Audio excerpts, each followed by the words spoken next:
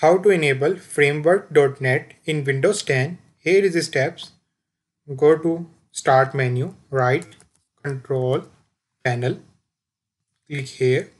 Then click un in, uninstall a program. On the left side, you will see the uh, link turn Windows features on or off. Click here. Here you will see two options .NET Framework 3.5 and .NET Framework uh, 4.8 Advanced Services. You have to click plus icon okay and click all these options okay. This one this one. Make sure these both options are checked then click ok.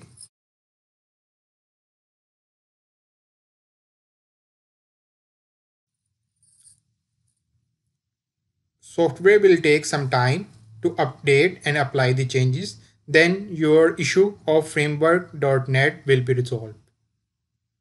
Okay? It must be connected to the internet. Okay? Now it's complete. Uh, after that press restart now. Okay? So that's all. Have a nice day